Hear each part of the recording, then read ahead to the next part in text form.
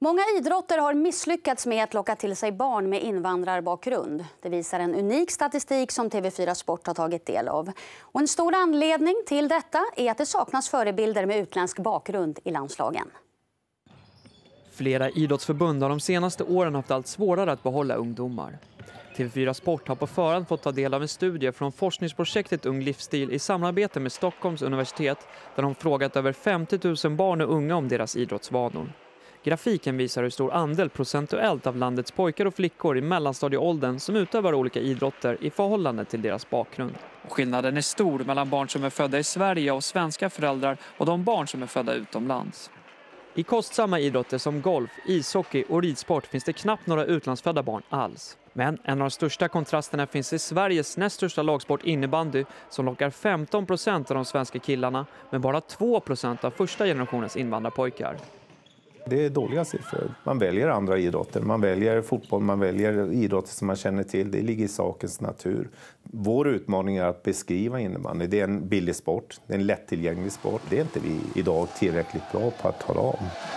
TV4 Sport har kartlagt de senaste landslagstrupperna i flera idrotter och gjort en demografisk jämförelse. Om landslagen skulle spegla befolkningen så borde det en trupp på 20 personer vara tre som är första generationens invandrare och två som har en eller två utländska föräldrar. Det är inte många av landslagstrupperna som matchade de siffrorna och i till exempel ishockeyn, handbollen och innebandyn var det bara en med invandrarbakgrund totalt i både dam och herrlandslagen. Vårt dilemma är ju att vi har idag inga där man kan känna igen sig i, i, i, bakgrund och kultur och sånt utan där får vi helt enkelt skapa glädjen av att hålla på med idrott för att så småningom få fram stjärnor som växer. Vi har många unga tjejer och killar som knackar på i ungdomslandslagen men det är inte i närheten vad det borde vara utifrån hur samhället ser ut idag. Fotboll, brottning och basket är alla idrotter som har en hög andel barn med invandrarbakgrund, vilket också till viss del återspeglat sig i landslagen. Linnell Farrey spelar basket och ser många fördelar med att invandrade barn föreningsidrottar. Alltså de lär känna nya folk, kanske lär sig bättre svenska och eh, om de kommer direkt från ett annat land.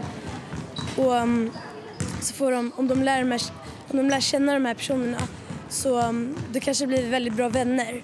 Till, och till slut kanske man umgås hemma också. Alla idrottsförbund vi har varit i kontakt med anser att frågan om integrering är viktig men komplicerad.